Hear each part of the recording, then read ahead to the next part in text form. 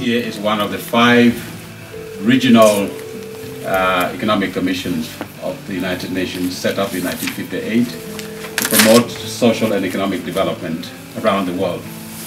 ECA is in charge of Africa, so they focus on the African continent. One of the three uh, Pan-African organizations in Africa, one being the African Union, which deals with peace and security and the political aspect of uh, work, is a non-UN body. And then you have the African Development Bank, which deals with the funding of the project, the various projects of, of the continent. Again, it's a non-UN body. And then you have the Economic Commission for Africa, which is the ECA. And as I said, it's uh, uh, tasked with uh, promoting uh, economic development in Africa. We do this uh, through, number one, um, coming up with policies that support governments in Africa. So we develop policies that uh, are in sync with the, the, programs and the priorities of the African government. And, uh, and uh, every year we bring, for instance, the ministers of uh, finance and discuss the modalities for development here and map the way forward. Issues like financing for development, issues like illicit financial flows. Uh, example, during the height of the Ebola crisis, uh, we had to intervene, take the lead. As ECA, we made recommendations. The African Union made sure they sent uh, uh, experts to the affected countries. Uh, we were the first as ECA to make a call uh, for debt cancellation in those countries that are affected because it would be crazy to ask them to continue paying tax you know, when Ebola was really ravaging the country.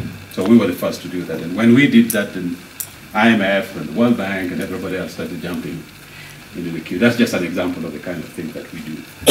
but we produce lots of products. Uh, that some products which we produce annually, which is like the economic report on Africa, which gives like, it takes like the body temperature of the economic situation in Africa. Um, my question is to do with the IMF and maybe the World Bank when it comes to during the point when they suggested the structural adjustment programs, was there anything that the ECA maybe suggested in a different direction?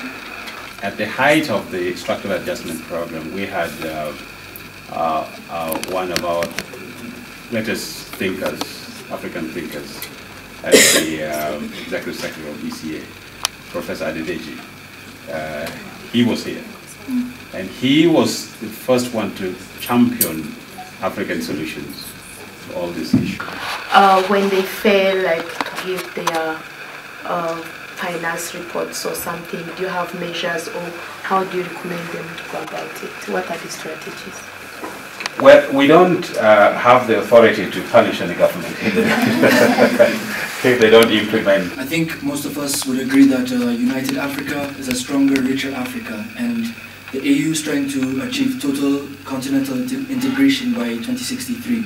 So as you're uh, offering countries uh, economic advice and policy uh, advice, are you doing it with the with the goal of continental integration in mind, or are you doing it to just help that country's developmental agenda in the short term?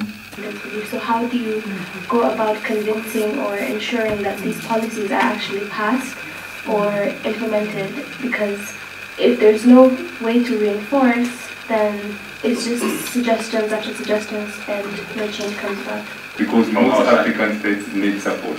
Now, like they make up many of them, so how do you ensure that there is equality in how you offer them economic support? So how do you guys operate and support the economic in Africa in the presence of such organizations like WTO which benefit more the West side than the African. As you can see, all of us are students here, and we are looking forward to be part of this organization. So what will you really advise us to do so that we will look forward to come and be recruited to this organization? Advise all of us to retire.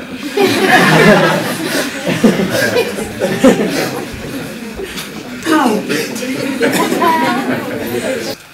Speaking on behalf of uh, this class to give a vote of thanks and as well on behalf of the university. I also happen to be the student president back in United States International University and uh, we again we're glad and honored that you're here with us as you mentioned, we will make this annual and, and more groups will come and learn as we have. And uh, thank you so very much for that. So thank you very much.